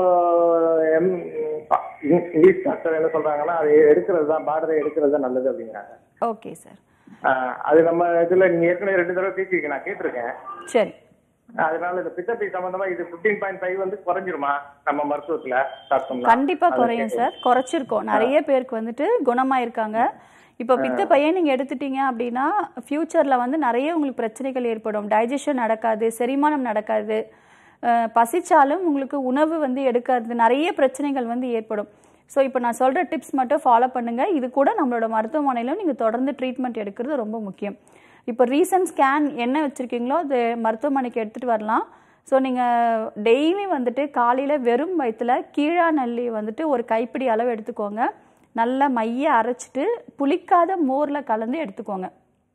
ஸோ ஒரு நெல்லிக்காய் மூன்று நெல்லிக்காய் சைஸ் அளவு இருக்கணும். நல்லா பேஸ்ட் மாதிரி பண்ணி எடுத்துக்கோங்க. புளிக்காத மோரில் கலந்து எடுத்துக்கணும். இது தொடர்ந்து ஐந்துலேருந்து ஏழு நாட்கள் இது எடுத்துக்கணும். அசைவ உணவை கம்ப்ளீட்டாக அவாய்ட் பண்ணுங்கள் ஸோ கீழாநெல்லி ட்ரீட்மெண்ட் வந்து ஃபார் ஃபைவ் டேஸ் இல்லை செவன் டேஸ் எடுத்துக்கலாம். அதுக்கப்புறமா வந்துட்டு ஆப்பிள் ஸோ டெய்லி வந்து தொடர்ந்து ஒரு மூன்று ஆப்பிள் வந்து டெய்லி சாப்பிடணும். தோல் சீவிட்டு ஆப்பிள் நல்ல ஜூஸ் மாதிரி எடுத்துக்காம நல்லா மென்று விழுங்கணும். பொதுவாகவே வந்துட்டு தோள்கள் தான் நம்ம உடலுக்கு வந்து ரொம்ப நல்லது. பழங்கள் இருக்கக்கூடிய தோல்களில் வந்து நார்ச்சத்துக்கள் அதிகமாக இருக்குது ஸோ இன்றைய காலகட்டத்தில் குறிப்பாக ஆப்பிள்லாம் வந்து பார்த்திங்கன்னா நிறைய மெழுகு தடவி அதில் கெமிக்கல்ஸ் நிறைய இருக்கிறதுனால நிறைய பிரச்சனைகள் ஏற்படுது. அதனால தோலை சீவிட்டு எடுக்க சொல்கிறோம் ஸோ டெய்லி வந்து மூணு ஆப்பிள் எடுத்துக்கோங்க. தண்ணி வந்து ஒரு மூணு லிட்டர் தண்ணி எடுத்துக்கணும். குறிப்பாக வந்து மோஷன் என்ன கலரில் இருக்குன்றத பார்க்கணும் எல்லோ கலரில் இருக்குது அப்படிங்கிறது தான் நார்மலான ஒரு விஷயம். வெள்ளை கலரில் மாறுச்சு அப்படின்னா இமீடியட்டாக நீங்கள் மருத்துவர் அணுகணும். ஸோ அந்த ரிப்போர்ட்ஸ் எடுத்து நம்மளை மருத்துவமனைக்கு நேரில் வந்து பார்க்கலாம். நிகழ்ச்சியோட அடுத்த அழைப்பாளர் இணைப்பில் இருக்காங்க. அவங்க கிட்ட பேசலாம். Hello hello. வணக்கம். சொல்லுங்கம்மா. உங்க பேர் என்னம்மா? மேம் என் பேர் சவிதா. நான் தாம்பரத்துல இருந்து கால் பண்றேன். ஓகே இப்போ யாருக்காகம்மா கேட்டு தெரிஞ்சுக்க போறீங்க? எனக்காக தான் மேடம் கேட்கணும்? உங்க வயசு என்னம்மா? வயசு தேர்ட்டி ஒன் மேடம் ஓகேம்மா பேசலாம். டாக்டர் இணைப்பில் தான் இருக்காங்க. ஓ சரிங்க வணக்கம் மேடம் வணக்கம்மா. சொல்லுங்கள் மேடம் எனக்கு வந்து ரெண்டு டவுட் மேடம் எனக்கு. ஒண்ணு வந்து இப்ப எனக்கு வந்து தைராய்டு வந்து லாஸ்ட் ஒன் இயரா எனக்கு தைராய்டு ப்ராப்ளம் இருக்குன்றதை நான் இப்பதான் தெரிஞ்சுக்கிட்டேன். சரிம்மா. நான் வந்து டுவெண்ட்டி ஃபைவ் எம்ஜி மாத்திரை எடுத்துக்கிட்டு இருக்கேன் ரெகுலரா எடுத்துட்டு தான் இருக்கேன். ஓகேம்மா. இப்போ டூ டேஸ் முன்னாடி செக்அப் போனப்ப எனக்கு வந்து டாக்டர் தொண்டையில பார்த்துட்டு ஒரு அல்ட்ரா ஸ்கேன் ஒன்று இருக்கணும் தொண்டையில கட்டி இருக்கு அப்படின்னு சொல்லியிருக்காங்க. எனக்கு வாய்ஸும் பிரேக் ஆகுது. அப்பப்போ எனக்கு வாய்ஸ் சரியா கிளியரா இல்ல. தண்ணி குடிக்கும்போது நமக்கும் தெரியுது அது. நல்ல உருளையா இருக்கிறது தெரியுது. எனக்கு வந்து தைராய்டு இருக்கிறவங்களுக்கு தைராய்டு கட்டி வர்றதுக்கு வாய்ப்பு இருக்கா? அந்த மாதிரி தொண்டையில வர்றதுக்கு இருக்கான்றது ஒண்ணு மேடம். இன்னொன்னு வந்து நான் இப்போ ஒரு எயிட் மந்த்ஸா பாத்தீங்கன்னா உப்பு புளி காரம் எல்லாத்தையுமே குறைச்சிட்டேன். ரெகுலர் வாக்கிங் காலையில ஒன் ஹவர் டெய்லி வாக்கிங் போயிட்டு இருக்கேன். மோர் இந்த மாதிரி ஐட்டம் நிறைய சாப்பாடுல சேர்த்துக்கிறேன் நானு. டயட் டைட் டயட்ல இருக்கேன். ஆனாலும் எனக்கு ரெண்டுல இருந்து மூணு கிலோ வரைக்கும் வெயிட் இருந்துட்டு தான் இருக்கு மேடம் எனக்கு. ஓகே பீரியட்ஸ் ரெகுலரா குறைக்கிறது? மருந்து மாத்திரையில தான் குறைக்கணுமா? இல்ல நம்ம சாப்பாடு முறையிலே கொஞ்சம் வெயிட் லாஸ் பண்ணலாமா மேடம்? ஓகேம்மா பீரியட்ஸ் ரெகுலரா இருக்கா? பீரியட்ஸ் ஒன்றும் ப்ராப்ளம் இல்லை மேடம் இப்போ ஒரு ஃபோர் மந்த்தா பீரியட்ஸ் ப்ராப்ளம் இல்லை. அதுக்கு முன்னாடி ஒரு பத்து நாள் பத்து நாள் அப்படி தள்ளி தான் இருந்துச்சு. இப்போ ஒரு ஃபோர் மந்த்ஸா கரெக்டா இருக்கு மேடம் சரிம்மா ஸோ இப்போது தைராய்டில் வந்து நமக்கு கட்டிகள் வரதுக்கு வாய்ப்பு இருக்குது நமக்கு கழுத்து பகுதியில் தான் அந்த தைராய்டு சுரப்பி இருக்குது ஸோ அதில் வந்துட்டு ஒரு சிலருக்கு வந்துட்டு கட்டிகள் வரும். ஒரு சிலருக்கு ரைட் சைடில் வரும் லெஃப்ட் சைடில் இருக்கும் இல்லை ரெண்டு பகுதியிலுமே இருக்கிறதுக்கு வாய்ப்புகள் இருக்குது இது இருந்தாலும் நீங்கள் பயப்பட வேண்டாம். நம்ம மூலிகை மருந்துகள் கொண்டு இதை கரைச்சிட முடியும். நம்ம நிறைய பேருக்கு கரைச்சிருக்கோம். ஸோ இதை பற்றி பயத்தை விட்டுருங்க. நீங்கள் ஆல்ரெடி பண்ணக்கூடிய எக்ஸசைஸ் எல்லாமே பண்ணுங்கள் டயட்டில் வந்துட்டு நீங்கள் புளியை மட்டும் விட்டால் போதும். காரம் உப்பு இதெல்லாம் நீங்கள் சேர்த்துக்கலாம். ஸோ இப்போ சின்ன வயசு தான் உங்களுக்கு உங்களை உடலுக்கு உங்களோட சுவைக்கு எந்த அளவுக்கு தேவையோ அதை நீங்கள் எடுத்துக்கலாம். இப்போவே நீங்கள் உப்பெல்லாம் ரொம்ப கம்மி பண்ணுங்கிற அவசியம் கிடையாது. கல் உப்பு உபயோகப்படுத்துங்க. சமையலுக்கு வந்து கல் உப்பும் இந்துப்பும் உபயோகப்படுத்துகிறது ரொம்ப நல்லது. புளிப்பு சுவை பொதுவாகவே நம்ம உடலுக்கு வந்து நல்லது கிடையாது. அது சமையல் உபயோகப்படுத்தக்கூடிய புளி மட்டும்தான் நம்ம சொல்லிட்டு இருக்கோம். ஸோ அதை மட்டும் கொஞ்சம் அவாய்ட் பண்ணிக்கோங்க. மீதி எல்லாமே நீங்கள் நார்மலாக நீங்கள் விஷயங்கள் எடுத்துக்கலாம். ஸோ அதுக்கு அடுத்து இப்போ தைராய்டு நமக்கு கிளாண்ட் நார்மலாக செக்ரேட் ஆகணும் அப்படின்னா நம்ம லைஃப் ஸ்டைல் ரொம்ப முக்கியம். கரெக்ட் டைமுக்கு தூங்கி கரெக்ட் டைமுக்கு எழுந்துக்கோங்க. குறிப்பாக வந்து நீங்கள் வாக்கிங் போகிறது அப்படியே நல்லது. அதை அப்படியே ஃபாலோ பண்ணுங்கள் இளம் வெயிலில் வாக்கிங் போகிறது ரொம்ப நல்லது. விட்டமின் டி டெஃபிஷியன்சினால் கூட நமக்கு தைராய்டு கிளாண்ட் ஃபங்க்ஷன்ஸ் வந்து நமக்கு குறைவாக ஃபங்க்ஷன்ஸ் நடக்க ஆரம்பிக்கும். ஸோ இதை ஃபாலோ பண்ணணும். டெய்லி வந்து சீதா இலை வந்து நீங்கள் கஷாயம் எடுத்துக்கலாம். ஸோ சீதா இலை வந்துட்டு ஒரு ஐந்துலேருந்து ஒரு எட்டு இலைகள் எடுத்துக்கோங்க. நுணா இலை கிடச்சிதுன்னா எடுத்துக்கோங்க. அருகம்புல் எடுத்துக்கோங்க. ஸோ இந்த மூணு இலையும் ஒரு ஐந்துலேருந்து ஒரு எட்டு இலைகள் எடுத்து நல்லா கஷாயம் மாதிரி போட்டு வெறும் வயிற்றில் ஒரு ஃபிஃப்டீன் டு டுவெண்ட்டி எம்எல் எடுத்துக்கலாம். காலையிலையும் நைட்டும் எடுத்திங்கன்னா உங்களுக்கு நல்ல தைராய்டு ஃபங்க்ஷன்ஸ் வர ஆரம்பிக்கும். இது கூட வந்து நாட்டு மருந்து கடையில் நீர்முள்ளி அப்படிங்கிற ஒரு மூலிகை இருக்கும். ஸோ தொண்டை பகுதியில் வந்து உங்களுக்கு அந்த ஒரு க்ரோத் வளர்ந்துருக்குன்னு சொல்கிறீங்க அந்த வளர்ச்சியை வந்து இந்த நீர்மூலி நல்லாவே கரைச்சி கொண்டு வரும். ஸோ இந்த கஷாயம் நீங்கள் எடுத்துக்கலாம். இல்லை பொடி மாதிரி இருந்துச்சுன்னா காலைல ஐந்து கிராம் நைட் ஐந்து கிராம் எடுத்துக்கோங்க. இது கூட நம்மளோட மருத்துவமனையிலையும் மருந்து இருக்குது ஸோ தொடர்ந்து ஒரு ஆறுலேருந்து ஒரு எட்டு மாத காலம் ட்ரீட்மெண்ட்ஸ் எடுக்கணும். அப்போ தான் உங்களுக்கு நல்லா குறைய ஆரம்பிக்கும். இது கூட வந்து கழற்சிக்காயும் எடுத்துக்கலாம். கழற்சிக்காய் வந்துட்டு உடலில் இருக்கக்கூடிய எந்த பகுதியில் சதை வளர்ச்சிகள் வீக்கம் எந்த பிரச்சனைகள் வளர்ச்சிகள் அதிகமாக இருந்தாலும் இது நல்லாவே குறைச்சி கொடுக்கும். ஸோ ஒரு கலர்ச்சிக்காய் நான்கு மிளகு தேன்ல நல்லா மிக்ஸ் பண்ணி அதுவும் வெறும் வயிற்றில் எடுத்துக்கிட்டே வாங்க. உங்களுக்கு நல்ல ரிசல்ட் இருக்கும். அதே மாதிரி வெயிட் இன்க்ரீஸ் ஆகுது அப்படிங்கிறதுக்கு முக்கிய காரணம் தைராய்டோட ஃபங்க்ஷன் தான். ஸோ தைராய்டு வந்து செக்ரீஷன் நார்மலாக இருந்தது அப்படின்னு சொன்னால் உங்களுக்கு வெயிட் வந்து நல்லா பேலன்ஸ் ஆகி வரும். ஸோ நீங்கள் வந்துட்டு டயட்டோட இந்த தைராய்டு வந்து பிளட் லெவல் நார்மலாக இருக்கா அப்படிங்கிறத பார்க்கறது ரொம்ப முக்கியம். ஒரு த்ரீ மந்த்ஸ் ஒன்ஸ் வந்து பிளட் டெஸ்ட் பண்ணி பார்க்குறது ரொம்ப அவசியம். நம்மளோட மருத்துவமனையில் நேரில் வந்து பாருங்கள் ஸோ எந்த விதமான பிரச்சனைகள் இருந்தாலும் சரி நம்ம ஒரு எ- ஆறிலிருந்து எட்டு மாத காலம் தொடர்ந்து ட்ரீட்மெண்ட்ஸ் எடுக்கும்பொழுது முழுமையாக குணம் பெறலாம். நம்ம மருத்துவமனை வந்து நான்கு தலைமுறைகளாக வந்து செயல்பட்டுட்டு இருக்கு. ஸோ இப்போ அறுவை சிகிச்சை மேற்கொள்ளணும் அப்படிங்கிற தருவாயில் இருக்கிறவங்க கூட நம்மளோட மூலிகை மருந்துகள் கொண்டு அறுவை சிகிச்சை இல்லாமல் ஆரோக்கியமான வாழ்க்கை வந்து வாழ்ந்துட்டுருக்காங்க நம்மளோட மருத்துவமனை டோட்டலாக வந்து டுவெண்ட்டி ஒன் பிரான்ச்சஸ்க்கு மேலே இருக்குது ஸோ இப்போ நியூவாக வந்து திருவண்ணாமலையிலும் காஞ்சிபுரத்திலும் நியூ பிரான்ச் ஓப்பன் பண்ணியிருக்கோம். ஸோ மெயின் பிரான்ச் வந்து டி நகர் ஹபீபுல்லர் ரோ ரோட்டில் இருக்குது ஸோ எந்த டீட்டெயில்ஸ் இருந்தாலும் கீழே ஸ்க்ரோல் இருக்க நம்பருக்கு கால் பண்ணி டீட்டெயில்ஸ் கேட்டுக்கோங்க. நம்ம உடலில் எந்த பிரச்சனைகள் இருந்தாலும் சரி இப்போ அறுவை சிகிச்சை தான் மேற்கொள்ளணும் அப்படிங்கிற ஸ்டேஜில் இருந்தாலும் சரி அறுவை சிகிச்சை இல்லாமலே நம்மளோட மூலிகை கஷாயங்கள் கொடுக்கும்போது கண்டிப்பாக கரைஞ்சி வந்துடும் ஸோ இப்போ அது பித்தப்பையில் கற்கள் இருந்தாலும் சரி பிசிஓடியாக இருந்தாலும் சரி இல்லை நார் திசு கட்டிகள் இருந்தாலும் சரி இல்லை சர்க்கரை நோய் இரத்த கொதிப்பு பக்கவாதம் எந்த பிரச்சனைகள் இருந்தாலும் சரி நம்மளோட மூலிகை மருந்துகள் எடுக்கும்பொழுது கண்டிப்பாக குணப்பெறும் சோரியாசிஸ் வந்து வித்தின் த்ரீ மந்த்ஸ்லேயே நல்ல ரிசல்ட் கிடைக்கும். ஸோ நிறைய பேர் வந்துட்டு சோரியாசிஸ்லேருந்து மீண்டு ஆரோக்கியமான வாழ்க்கை வாழ்ந்துட்டுருக்காங்க அந்த இருந்த ஸ்கார் கூட இல்லாமல் நார்மல் ஸ்கின் வந்த வந் நார்மல் ஸ்கின் டோனும் வரும். அதே மாதிரி நம்மளோட குளியல் பொடி வாழ்நாள் முழுதும் யூஸ் பண்ணும்போது மேலும் எந்த ஒரு ஸ்கின் ப்ராப்ளம் வராமல் பார்த்துக்கலாம். ஓகேம்மா நன்றிம்மா கால் பண்ணதுக்கு. அடுத்த அழைப்பாளரும் இணைப்பில் இருக்காங்க. உங்ககிட்ட பேசலாம். ஹலோ ஹலோ வணக்கம். சொல்லுங்கம்மா. உங்க பேர் என்ன? வணக்கம் மேம் என் பேர் ஜெசிலா எங்கிருந்து கால் பண்றீங்கம்மா? நாங்க சேலத்துல இருந்து கூப்பிடுறோம். ஓகே ஃபைன் இப்போ யாருக்காகம்மா கேட்டு தெரிஞ்சுக்க போறீங்க? மேம் எங்க மாமியாருக்கு அவங்க வயசு? வயசு ஐம்பத்தி ரெண்டு. ஓகேம்மா பேசலாம். டாக்டர் இணைப்பில் தான் இருக்காங்க. வணக்கம்மா. வணக்கம் மேம் சொல்லுங்க. மேம் அவங்களுக்கு ஒரு நுரையீரல் பிரச்சனை இருக்கு. சரிங்கம்மா சொல்லுங்க. மூச்சுர ரொம்ப கஷ்டப்படுறாங்க. அது இல்லாம அவங்களுக்கு சரவங்கி வேற இருக்கு. ஓகேம்மா. அதான் அவங்க தண்ணியில கை விட்டாலும் ஒரு மாதிரி குளிர் காய்ச்சல் வர மாதிரி ஆயிருது. சரிங்கம்மா. அப்புறம் அது இல்லாம வயிறு உப்புசமா வயிறு வீங்கின மாதிரி இருக்குன்னு ஃபீல் பண்றாங்க. ஓகே. அதான் சரி அவங்களுக்கு கேட்கலான்ட்டு. ஆனா டேப்லெட் சாப்பிட்டு தான் இருக்காங்க அவங்க. நாட்டு மருந்து இல்ல இங்கிலீஷ் தான் சரிம்மா. இங்கிலீஷ் டேப்லெட் தான்.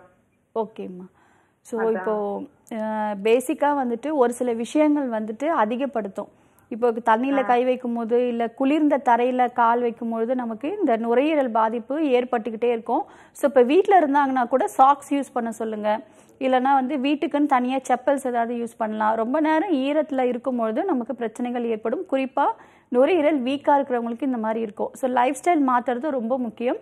இப்போ வயிறு உப்புசமும் சரி பண்ணணும். ஏன்னா வயிறு உப்புசம் தான் நுரையீரல் பாதிப்படுறதுக்கு எயிட்டி பர்சன்டேஜ் வாய்ப்புகள் அதிகம். ஸோ நமக்கு வயிற்று பகுதியில் வந்து செரிமானத்தை சரி பண்ணிட்டோம் அப்படின்னாலே இந்த பிரச்சனைகள் முழுமையாக குணப்பெறலாம் இப்போ மோஷன் வந்து ஃப்ரீயாக இருக்கா அப்படின்னு பார்த்துக்க சொல்லுங்கள் மோஷன் வந்து ஃப்ரீயாக இருந்துச்சு அப்படின்னாலே நம்மளோட என்டையர் சிஸ்டம் வந்து நார்மலுக்கு வர ஆரம்பிக்கும். ஸோ டெய்லி வந்து நைட்டு சாப்பிட்டதுக்கப்புறமா கடுக்காய் தோல் கஷாயம் கொடுக்கலாம். இல்லைன்னா சோம்பு. நம்ம வீட்டில் இருக்கக்கூடிய சிம்பிளான டிப்ஸு சோம்பு வந்து நல்லா பவுடர் பண்ணிவிட்டு ஒரு ஐந்துலேருந்து எட்டு கிராம் டெய்லி நைட்டு சாப்பிட்டதுக்கப்புறம் வெந்நீரில் எடுத்தாலே மலம் வந்து ஃப்ரீயாக கஷ்டம் இல்லாமல் ஃப்ரீயாக இருக்கும். மோஷன் வந்து ஃப்ரீயாக ஆயிடுச்சுனாலே நமக்கு எந்த ஒரு வியாதியும் வராமல் பார்த்துக்கலாம் அப்போ ஆட்டோமேட்டிக்காக வயிறு உபுசம் எல்லாமே குறைய ஆரம்பிக்கும். இந்த சோம்பு வந்து வயிறு உபுசம் இந்த கேஸ்ட்ரிக் பிரச்சனை இருக்கிறவங்க எல்லாமே நல்லாவே குறைய ஆரம்பிக்கும். இப்போ உங்களுக்கு இந்த நுரையீரல் வந்து நல்லா ஸ்ட்ரென்தன் ஆகணும். அந்த சளிகள் எல்லாமே வெளியில் வரணும் அப்படின்னா நம்மளோட மருத்துவமனையில் மூன்று மாத காலம் ட்ரீட்மெண்ட் எடுத்தீங்கன்னா கண்டிப்பாக வந்துட்டு நுரையீரலில் இருக்கக்கூடிய எல்லா கோழைகளும் வெளியேறும். நிறைய பேர் வந்து சொல்லுவாங்க இந்த இவ்வளோ சளி வந்து நுரையீரல் இருந்துச்சா அப்படின்னு எனக்கே தெரியல மேடம் ஸோ அந்த அளவுக்கு வந்து நுரையீரல் இருக்கக்கூடிய சளிகள் எல்லாமே இருமல் மூலயமா வெளியில் அப்படியே வந்துக்கிட்டே இருக்கும். ஸோ ஒரு கோர்ஸ் ஆஃப் ட்ரீட்மெண்ட் எடுக்கிறது நல்லது. இப்போ இந்த வயிறு உபசம்க்கு நான் ஒரு டிப்ஸ் மட்டும் சொல்கிறேன் அதை கரெக்டாக ஃபாலோ பண்ணுங்கள் நாட்டு மருந்து கடையில் சுக்கு மிளகு திப்பிலி கருஞ்சீரகம் சீரகம் ஓமம் இந்து உப்பு பெருங்காயம். ஸோ இந்த எட்டு மூலிகையும் எல்லா விதமான பிரச்சனைகளும் குணப்படுத்தும். இப்போ இந்த ஒரு மூலிகை வந்துட்டு சளியும் குணப்படுத்தும் வயிற்றில் இருக்கக்கூடிய உப்பு வயிறு உப்புசமும் குணப்படுத்தும். ஸோ அது நல்லா ஃபைனாக பவுடர் பண்ணிவிட்டு வெந்நீரில் எடுத்துக்கிட்டே வர சொல்லுங்கள் உங்களுக்கு நல்ல ரிசல்ட் இருக்கும். இருந்தாலும் நம்மளோட மருத்துவமனையில் ஒரு கோர்ஸ் ஆஃப் ட்ரீட்மெண்ட் எடுத்தீங்கன்னா முழுமையாக குணம் பெறலாம். இதுக்கு ஸ்பெஷலாக வந்து மூக்கில் வந்து ஒரு சொட்டு மருந்து விடும் பொழுதும் உங்களுக்கு நல்ல ரிசல்ட் இருக்கும். ஸோ மருந்து எடுத்து ஒரு மூன்றிலிருந்து ஒரு ஐந்து நாட்களே உங்களுக்கு நல்ல டிஃப்ரென்ஸ் தெரிய ஆரம்பிக்கும். ஓகே நன்றிம்மா கால் பண்ணதுக்கு. நெக்ஸ்ட் காலரும் இணைப்பில் இருக்காங்க. உங்ககிட்ட பேசலாம். ஹலோ ஹலோ வணக்கம். சொல்லுங்க உங்க பேர் என்ன? ஆ திருவண்ணாமலையில இருந்து ஆனந்தி பேசுறேன். ஓகே ஆனந்தி. இப்போ யாருக்காகம்மா கேட்டு தெரிஞ்சுக்க போறீங்க? இல்ல எனக்கு தான் உங்க வயசு? இருபத்தஞ்சு. ஓகேம்மா பேசலாம். டாக்டர் இணைப்பில் தாம்மா இருக்காங்க. ஆ ஓகே. வணக்கம்மா. ஆ ஹலோ மேம் எனக்கு வந்து ரைட் சைட் த்ரோட்ல சப்னாண்டிகுலர் கிளாண்ட்ல ஸ்டோன் இருக்குன்னு சொல்லியிருந்தாங்க. ஓகேம்மா ஒரு த்ரீ மந்த்ஸ்க்கு முன்னாடி ஃபைவ் பாயிண்ட் டூ எம்எம் இருந்துச்சு. ஓகே அதுக்கு என்ன சொல்லியிருந்தாங்க? டேப்லெட்ஸ் அதெல்லாம் எதுவுமே இல்ல. நம்ம வந்து பொறுமையா அந்த அந்த புளிப்பா ஏதாவது சாப்பிட்டா சரியாயிடும். லெமன் ஜூஸ்லாம் சாப்பிட்டா அது கரைய வாய்ப்பு இருக்கு அப்படின்னு சொல்லி சொல்லியிருந்தாங்க. நான் லெமன் ஜூஸ் எடுத்துக்கிட்டேன். அப்புறம் ஹோமியோபதி டேப்லெட்ஸும் எடுத்துட்டு இருந்தேன். ஒரு டூ மந்த்ஸ்ல வந்து ஒன் பாயிண்ட் டூ எம்எம் குறைஞ்சி இப்போ ஃபைவ் பாயிண்ட் டூல இருந்து ஃபோர் எம்எம் இருக்கு. ஓகே ஸோ அவங்க என்ன சொல்றாங்க நம்ம வெயிட் பண்ணலாம். இது ரொம்ப அவசரமான பிரச்சனை கிடையாது. வெயிட் பண்ணி அந்த ஸ்டோன் சைஸ் குறையுதான்னு பார்க்கலாம்னு சொல்லியிருக்காங்க. இப்போ ஃபோர் எம்எம் ஃபோர் எம்எம் தான் இருக்குன்ட்டு. ஆனா எனக்கு வந்து என்னன்னா கோல்டு இதா வந்துச்சுன்னா அந்த கிளாண்ட்ல டக்குன்னு அஃபெக்ட் ஆயிட்டு சாப்பிடும் போது வீங்கிடுது அந்த இடம். ஸோ என்னால ஒரு ரெண்டு வாய்க்கு அப்புறம் கண்டினியூஸா சாப்பிட முடிய மாட்டேங்குது. ஓகேம்மா ஸோ அது அந்த வீக்கம் கொஞ்சம் படியிற வரையும் நான் வெயிட் பண்ணிட்டு அப்பதான் அந்த இடத்துல இருந்து கொஞ்சம் கொஞ்சமா அந்த சலைவா வருது. அதுக்கப்புறம் வெயிட் பண்ணிட்டு நம்ம ரொம்ப கம்மியா சாப்பிடுற மாதிரி இருக்கு. Pain food இருக்கா? பெயின் இருக்குங்களா? பெயின் எதுவும் கிடையாது. பெயின் எதுவும் இல்லை. சரிம்மா. ஸோ இருக்க இருக்க சைஸ் வந்து உங்களுக்கு இப்போ குறைஞ்சிட்டு தான் இருக்கு இல்லையா? ட்ரீட்மெண்ட்ஸ் எடுக்கும் குறைஞ்சிட்டு தான் இருக்கு. ஓகேம்மா இது நம்ம வெயிட் பண்ணலாம். கண்டிப்பா இது வந்து நம்மளால கரைக்க முடியும். சரிங்களா? ஸோ திருவண்ணாமலையில் நம்மளோட ஆர்ஜிஎல் மருத்துவமனை இருக்கு. ரிப்போர்ட்ஸ் நேரில் எடுத்துட்டு போய் காமிங்க. கண்டிப்பா இதை கியூர் பண்ண முடியும். நீங்க பிஃபோரா ஒரு போட்டோ எடுத்து வச்சுக்கலாம். அதுக்கப்புறம் ட்ரீட்மெண்ட்ஸ்க்கு அப்புறம் நீங்க ரிசல்ட் பார்க்கலாம். சரிங்களா? வரி பண்ணாதீங்க. நேர்ல போய் மருத்துவர் பாருங்க. ஏன்னா என்ன கண்டிஷன்ஸ்ல இருக்கு அப்படிங்கிறத பார்க்கணும். குறிப்பா நாடி பரிசோதனை ரொம்ப முக்கியம். ஸோ நீங்கள் டேரெக்டாக நேரில் போய் பார்க்கலாம். தேங்க்யூம்மா கால் பண்ணதுக்கு. டாக்டர் இந்த ஒன் ஹவர் ஃபுல்லாக ஆரோக்கியம் சார்ந்த எல்லா கேள்விக்குமே தெளிவாக பதில் அளிச்சிங்க. நன்றி. நன்றி.